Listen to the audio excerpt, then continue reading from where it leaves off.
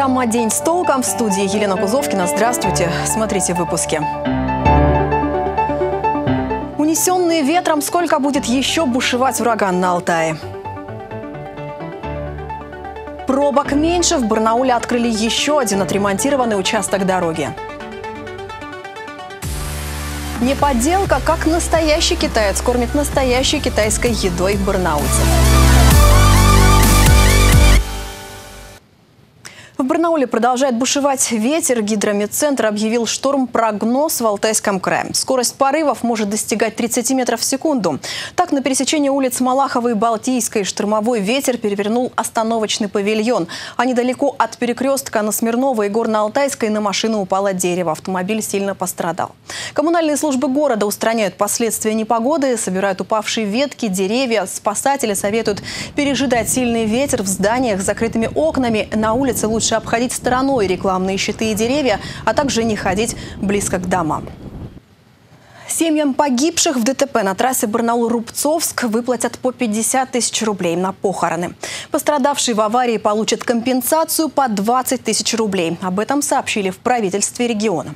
Напомним, трагедия произошла в эту субботу. На границе Топчихинского и Калманского районов столкнулись микроавтобус «Фиат Дуката» и минивэн «Ниссан». В машинах находились 16 человек, 8 из них погибло.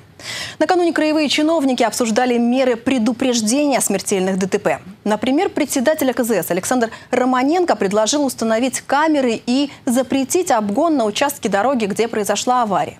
А депутат Госдумы Наталья Кувшинова призвала строить четырехполосные дороги. Накануне стало известно, как чувствуют себя пострадавшие в аварии, которых доставили в краевую больницу скорая помощи в Барнауле. По словам главного врача, все четыре пациента находятся в стабильно тяжелом состоянии, но медики дают благоприятный прогноз.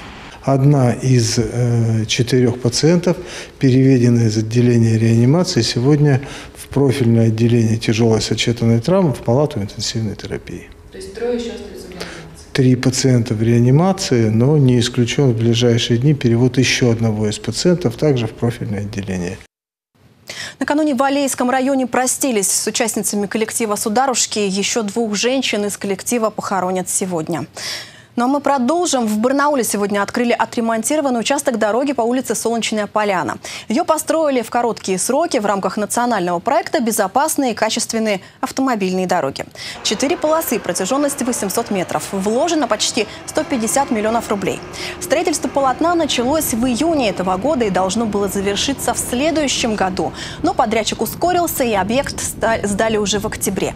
Появление новой дороги позволило перенаправить транспорт из микрорайона района Солнечная Поляна и снизить загруженность других улиц. Разгрузить дороги просторную, жасминную, в конечном итоге Павловский тракт.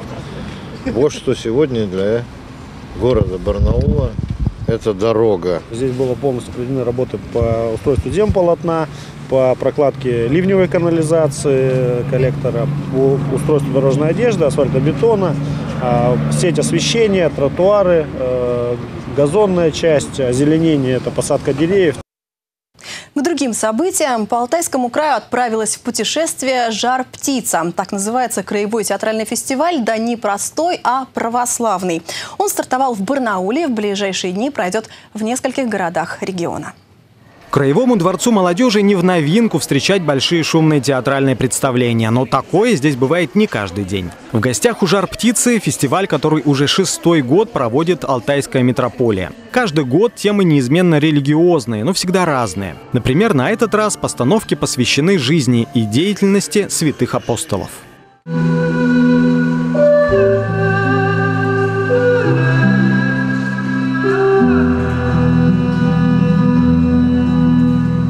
Шесть творческих коллективов из одного только Барнаула, в основном команды церковных приходов и воскресных школ. Ставят и даже пишут пьесы зачастую сами участники разных возрастов, при этом выбирая порой весьма актуальные темы.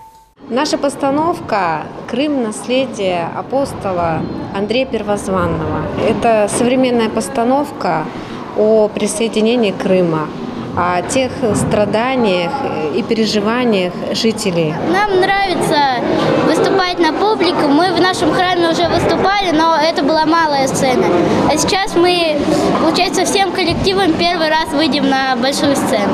По словам организаторов, такой православный театр – своего рода возвращение к театральным истокам. По их словам, именно такие постановки на религиозные темы еще в 17 веке заложили основы театрального искусства в России вообще. Поэтому критерии для отбора победителей, а это все-таки конкурс, своеобразные. Здесь как бы э, не нужно особой игры, э, особо вот, вот, э, изображения чего-то из себя строить а именно органичность, чтобы вот в этой пьесе вот, все было просто, вот, осмысленно. Кстати, уверены организаторы, поскольку многие участники театра планируют в будущем или уже являются служителями церкви, сценический опыт поможет им увереннее себя чувствовать, например, читая проповедь. До конца этой недели фестиваль пройдет в Новоалтайске, Бийске, Заринске. Поскольку там есть свои любительские театры, то в целом участие примут 20 коллективов. А 4 ноября фестиваль вернется в Барнаул. Тогда в концертном зале «Агиика» пройдет гала-концерт. Илья Кочетков, Николай Шелко. День с толком. Тараканов он никогда не жарил, но свинину в кисло-сладком соусе тушит, как именитые шеф-повара. Бывший студент технического университета в свое время не смог прожить в Барнауле без родной китайской кухни. Позже вернулся в краевую столицу уже как предприниматель и открыл здесь кафе быстрого питания. Так что такое настоящая китайская кухня и почему в Барнауле проще развивать свой бизнес, узнаем прямо сейчас. Ложку две. В Алтайский край Лю Чайцян приехал еще пять лет назад, чтобы получить образование в техническом университете. За это время ему удалось быстро освоить русский язык, найти друзей и привыкнуть к городу. После окончания учебы решил на год уехать в Китай. В Барнаул вернулся уже с образованием повара, китайскими соусами, специями и желаниями открыть свое кафе. Рассказывать, что на ремонт помещения и оформление всей документации потребовалось два месяца. Но в Китае, как выяснилось, открыть свой бизнес было бы сложнее давление, э, ну, типа конкурентов много. Э, если ты хочешь открывать, э, перед тобой уже открыли типа 100, уже 200 кафешек, а здесь что-то не так. Кстати, китайскую кухню россияне уже давно знают и любят. Правда, знания эти порой весьма ограничены тараканов они жарят, очень знаю. Еще пельмени вот из китайской кухни, они перешли в нашу, как бы. Вот и все. Соусы очень вкусные, нравятся мне. Их вот это вот из риса лапша нравится мне. Так, ну, не так часто посещаемые такие рестораны, но все равно где-то предпочитаем покушать. На самом деле китайской кухни не существует. Кулинарные традиции внутри Китая очень сильно различаются, и каждая из провинций имеет собственные блюда. Но говорят, что вы там кушаете чудо червь или так далее. А я говорю, нет. Это разные провинции, разные традиции. А на нашей провинции нет. Так что попробовать лягушек или тараканов вам не удастся. Готовить шитян из продуктов, которые обычно используем и мы. Мясо, рыбы, картошки, лапши и овощей.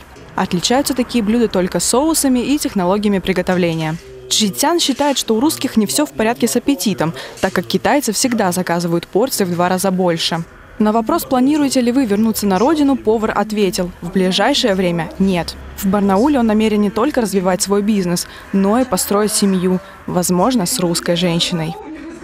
Анна Ирбис, Илья Халяпин. День с толком. Через несколько секунд о погоде спонсор прогноза – компания «Эвалара». У меня к этому часу все новости. До встречи.